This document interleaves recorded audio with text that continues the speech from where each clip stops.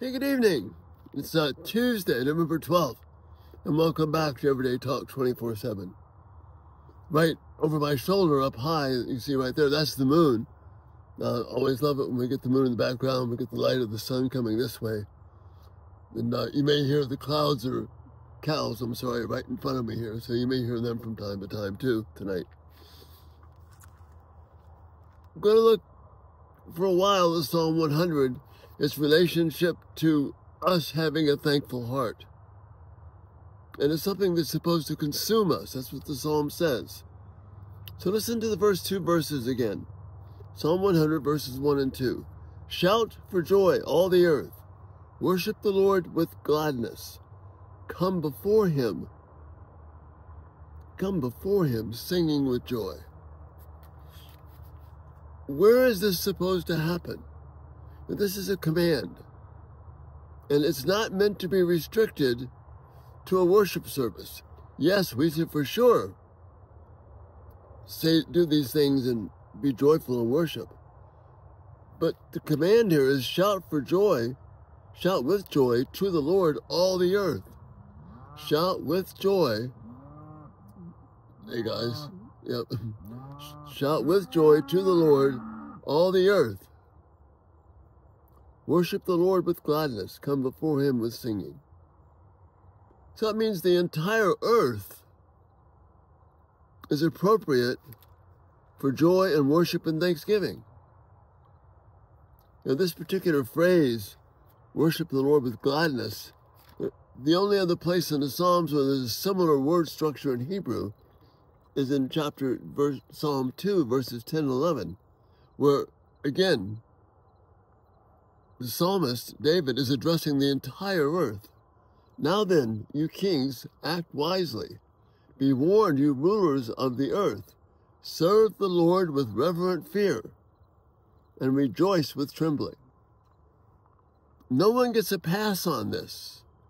Our appropriate, resp- appropriate response is always one of awe and worship and joy. And if we're not there, we are not acknowledging the wonder and power and greatness of God. You know, it's easy to think about serving the Lord on all the earth when it's a beautiful, peaceful scene or a gorgeous nature shot. Here's, here's one on the screen right now of a sunrise in the Atlantic Ocean. It's gorgeous. It's beautiful. And it evokes within us awe and majesty as it should. So that's an appropriate place for joy and reverence and thanksgiving for this beautiful scene. But suppose it's not a beautiful scene like that. Suppose it's a completely different scene. Suppose it's where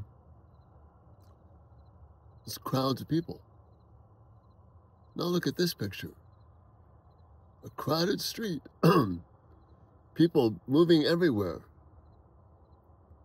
This apply there as well? Shout with joy to the to the Lord, all the earth. Worship the Lord with gladness. Come before Him with sing, singing with joy. Come before Him singing with joy. Yes, it's just as appropriate here in this busy street scene as it is in the beautiful naturescape. Romans 12 talks about our daily act of worship and sacrifice. God's called us to this.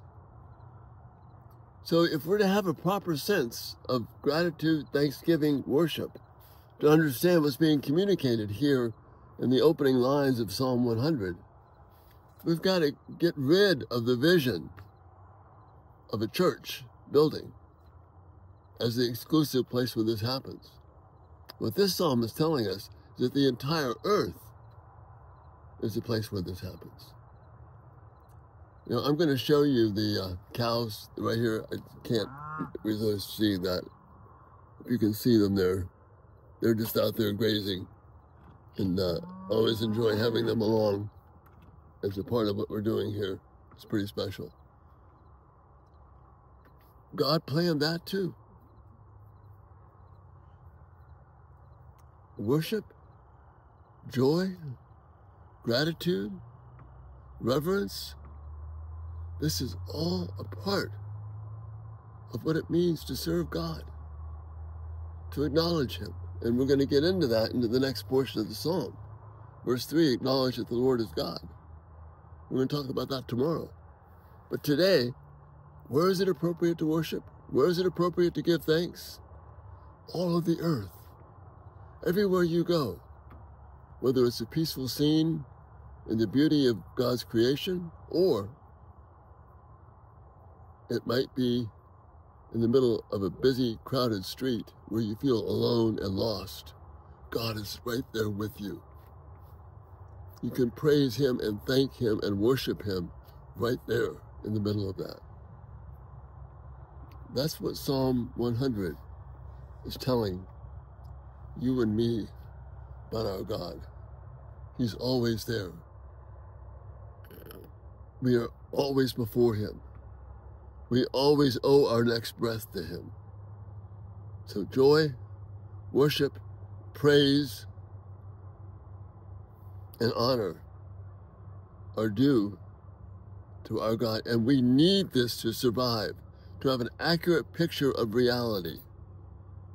We need to have this understanding of the greatness of God wherever we are, whatever the setting. And that's the thought for uh, this day on this Tuesday. And uh, Lord willing, we'll talk to you tomorrow. Thank you for being here, and thanks to the cows, too. Good night.